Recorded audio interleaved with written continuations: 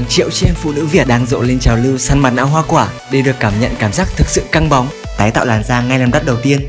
Vì đây là hàng chỉ dành cho những thành viên kinh doanh linh hương, không bán cho những vị khách ngoài hệ thống, nên có rất nhiều khách hàng vì muốn được sử dụng đã chi một số tiền mua lượng lớn mỹ phẩm linh hương để được tặng thêm miếng mask này. Vậy thực hư mặt nạ này có tốt như lời đồn? Hãy theo dõi video sau của chúng tôi để tìm lời giải đáp cho ẩn số này nhé.